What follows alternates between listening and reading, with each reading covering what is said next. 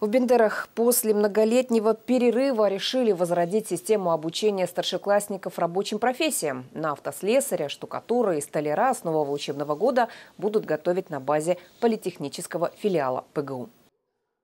Это не куплено, это сами студенты изготавливают. Мастер производственного обучения Иван Булгарь уверен, роботы и интернет еще не скоро заменят ремесло, ведь ручная работа – это как знак качества. И вот что, реально э, ребенка, подростка научить за один год вот это вот все делать?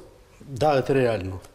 Поэтому мы приглашаем, будем обучать, учить их, получить профессию как столяр строительный. У бендерских старшеклассников появился шанс получить свою первую рабочую профессию еще в школе, причем совершенно бесплатно. Минпрос и Бендерский политехнический филиал ПГУ пошли на образовательный эксперимент. Начиная с сентября учеников 9, 10 и 11 классов будут готовить на выбор по трем направлениям. Это хорошо востребованные специальности – автослесарь, столяр и штукатур. Например, это помещение что-то вроде тренажера. Мастер говорит, кидать раствор на стены – это целая наука. Это рабочее место студента, который он э, учится, как правильно штукатурить поверхность, как правильно делается вот откосы в данном виде, вот уже дверной э, блок, когда-то в бендерских школах обучали рабочим специальностям. Тогда занятия назывались УПК. Потом систему начального профобразования вычеркнули из образовательного процесса из-за отсутствия материальной базы.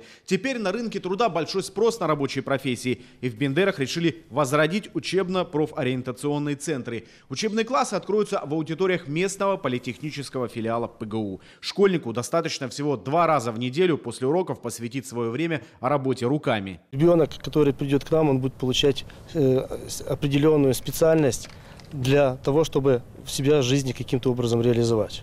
После года обучения школьнику вручат документы о присвоении ему рабочего разряда. Год назад в Бендерском торгово-технологическом техникуме открыли специальности для девочек. Теперь дело дошло и до мальчиков. Прием документов начнется в середине июня.